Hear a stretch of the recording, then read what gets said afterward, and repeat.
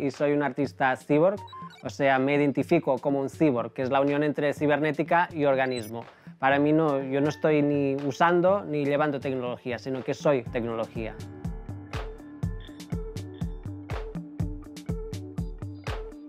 Yo nací con una condición visual que se llama cromatismo, que es ver el mundo en blanco y negro. Veo en escala de gris. Y entonces cuando supe que no podía ver los colores, pues empezó a crecer esta curiosidad por poder percibir el color. Por lo tanto, lo que ahora tengo es una antena implantada en mi cabeza que me permite escuchar las frecuencias de los colores que hay delante mío y lo bueno de escuchar el color es que me permite percibir más colores que los visibles. Por lo tanto, va desde infrarrojos hasta ultravioleta. El ultravioleta me permite saber si es un buen día o un mal día para tomar el sol, porque si percibo que hay mucho ultravioleta, pues sé que me puede dañar la piel, pero entonces no, no tomo el sol. Mi objetivo es seguir ampliando la percepción del color a, microondas, a, rayos X, a gamma, o sea, la posibilidad es, infinita, puedes seguir extendiendo tu percepción de la realidad. El momento en que noté que mi cerebro había cambiado fue cuando empecé a soñar en color.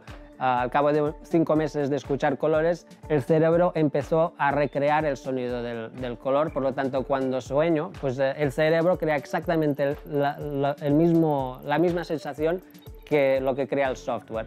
A partir de este momento fue cuando dejé de diferenciar el software de mi cerebro y cuando empecé a sentirme cyborg.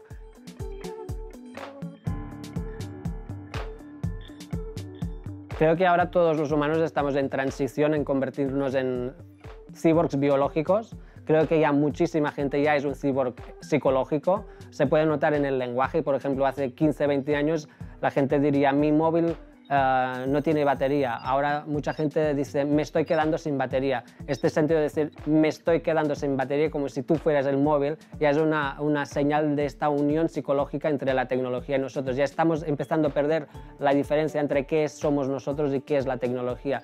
En 2010, Moon Rivas y yo creamos la Fundación Cyborg, que es una fundación que quiere ayudar a los humanos a convertirse en cyborgs.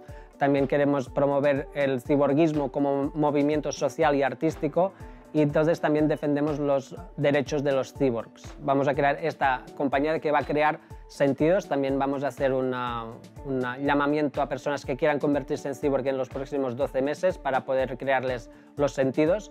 Y vamos a empezar con tres sentidos seguramente, que va a ser la retrovisión, que es tener sensores detrás para poder percibir qué hay detrás, sentido eléctrico-magnético, que te permite, por ejemplo, detectar dónde está el norte, hay animales que tienen este sentido, y el otro sentido es la oreja infrasónica, que nos va a per permitir percibir sonidos que son más uh, bajos de frecuencia que, que nuestros oídos pueden percibir.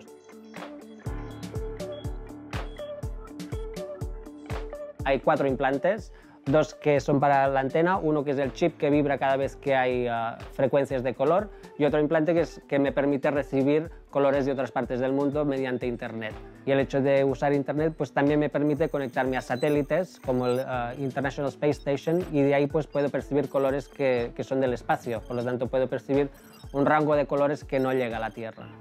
Cuando miramos el espacio parece como que es negro o que está vacío o que está en silencio, pero el problema es que nosotros ni vemos ni escuchamos la realidad del espacio, porque son uh, frecuencias que van más allá de nuestra percepción.